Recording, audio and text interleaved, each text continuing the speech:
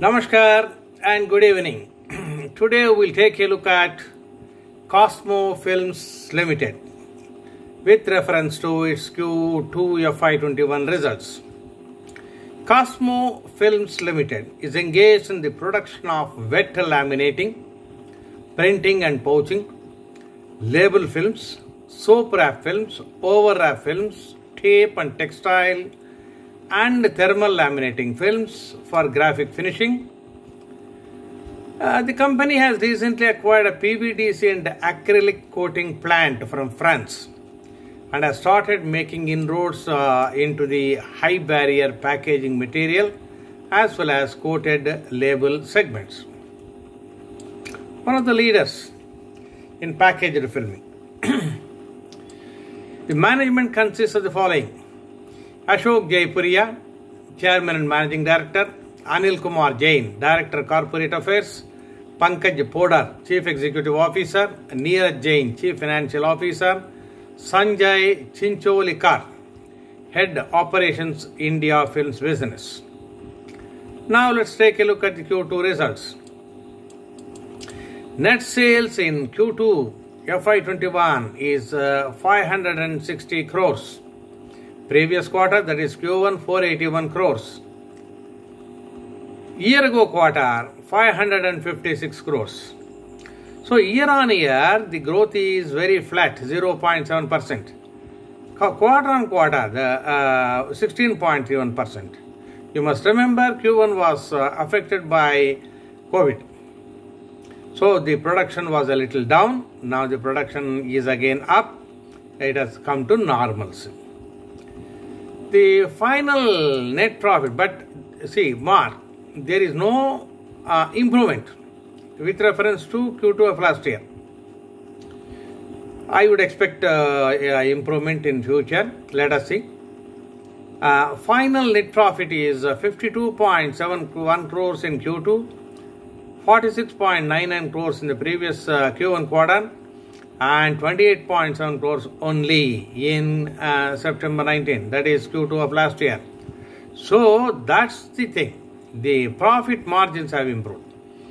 Uh, year on year, growth in uh, net profit is 83.66%, though sales are flat. Same. Now, quarter on quarter net profit has improved by 12%. The basic EPS on a face value of rupees 10 is 27.75. Very good. Last year Q2 14.98% only 85% improvement year on year. So uh, Cosmo Films, though the sales are flat year on year, net profit has improved by 83%. Future is likely to be better. Now, the key, key highlights of Q2 FY 2021 results. The company's volumes got normalized during Q2 FY 21, which was impacted uh, in Q1 FY 21 uh, due to COVID 19. The company posted highest ever EBITDA, EBITDA of 99 crores, highest ever in its history. Uh, during Q2 on the back of higher specialty sales and improved operating margins over last year. The company has initiated commercial production from Master Batch plant, a new plant. Their commercial production has started in Q2 FY21, which means it will add to production in Q3, Q4, etc. So the volumes are expected to pick up in H2, that is uh, second half year, Q3 and Q4. The company is set to grow specialty further as we are as they are enabling some large production lines to manufacture specialty products in Q4, not Q3, Q4. The specialized BOPET project and pet care project are progressing well in line with their plan. COVID-19 had marginal impact during Q2. Q1 heavy impact, Q2 less impact. It's likely to have much less impact in Q3 and Q4 and onwards. Now the company says the financials in September quarter are very good. Return on equity 20%, return on capital employed 18%, Net debt to EBITDA 1.4%. Company says uh, they have improved a lot. Now, look at the annual results slightly. The sales five years ago, March 2016, 1620 crores. Now, slowly improved and improved. March 2020, that is last completed year, 2203 crores versus uh, vis-a-vis 1620 crores five years ago. Net profit uh, was 96 crores uh, five years ago, now 113 crores. Net profit has improved but not much. Annual results indicate that sales have progressed but not much. Net profit has progressed but not much. cash flows, net cash flow was negative during uh, March 2020 year. Operating activities uh, gave 240 crores, uh, highest ever. Investing activities took up 105 crores, good. Investing activities minus 105 crores is good because that will add to revenue and profits coming times. Financial activities outgo 165 crores. Net cash flow is minus 30. Now, market price is 442 based on that the latest uh, uh, EPS if you take the price earning comes to about 4 very low. Uh, but that was how it was always. Uh, volumes are uh, reasonably okay 52 week low uh, 182.2 52 week high is 491 current price is 442 so uh, the current price is uh, somewhat uh, nearer to uh, the uh, highest price.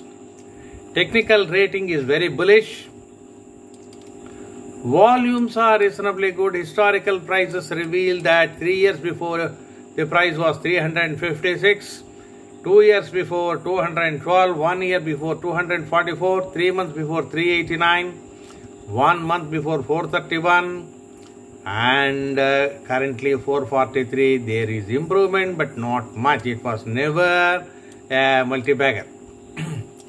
Shareholding pattern indicates that promoters hold 44.15%, pledge is zero. promoters hold is good 44.15% always static. They have neither improved nor decreased in the last four quarters.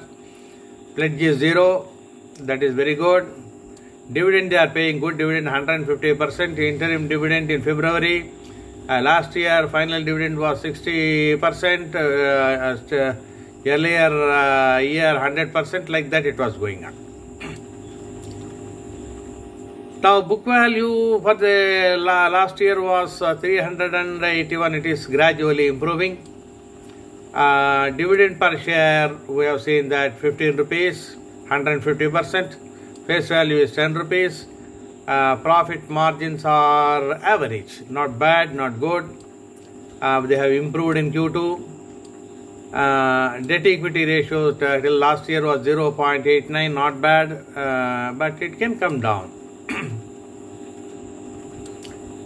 Now uh, the uh, they have released an investors presentation which is uh, reasonably good.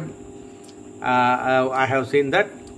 Uh, they have got plants in uh, india north korea usa etc the capacities are reasonably good. They want to be world leader in packaging etc strong financials but not improving.